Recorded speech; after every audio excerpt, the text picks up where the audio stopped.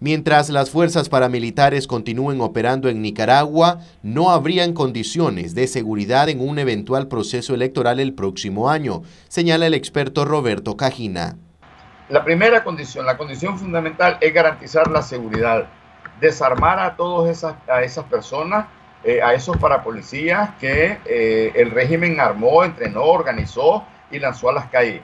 Sin esa seguridad, sin la seguridad para la libre movilización, sin la seguridad para la libre expresión, evidentemente que no hay condiciones, esa es una, la, la primera condición, no habría condiciones para participar o estar en ese proceso electoral.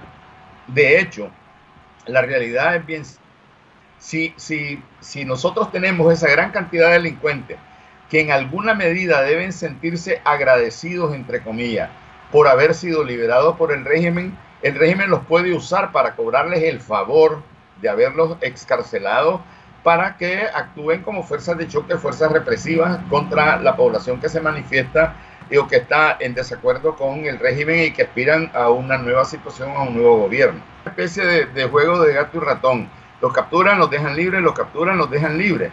El, hecho que ah, entre esos 23.300 aproximadamente de excarcelados, delincuentes comunes excarcelados, hay a quienes han cometido delitos graves, delitos atroces, femicidios, entre otros, evidentemente que eh, incrementan, no, como te decía, no solamente el nivel de inseguridad, sino la cantidad de delitos.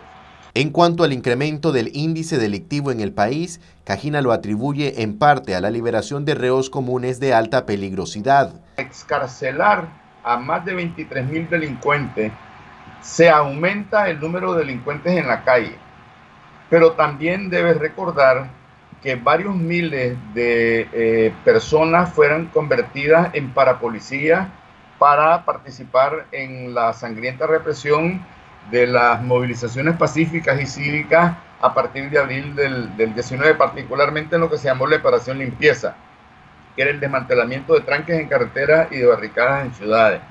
Entonces, la población delincuencial de Nicaragua ha crecido los que estaban en la calle, los que estaban, no estaban prisioneros, se suman los que estaban prisioneros y que fueron escarcelados por el régimen, los 20.000, 23.000 que te mencioné. En su más reciente reporte, la policía da cuentas de la captura de más de 60 delincuentes que cometieron hechos de alta peligrosidad en el país en la última semana.